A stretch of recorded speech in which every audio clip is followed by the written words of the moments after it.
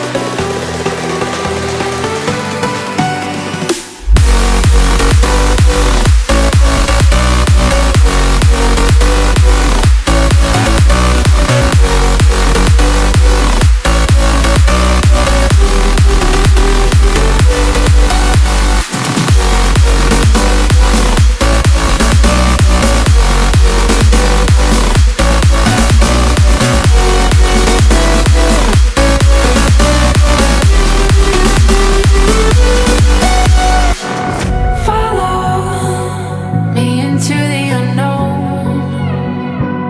See what happens if you let go. Don't you know only you can set you free?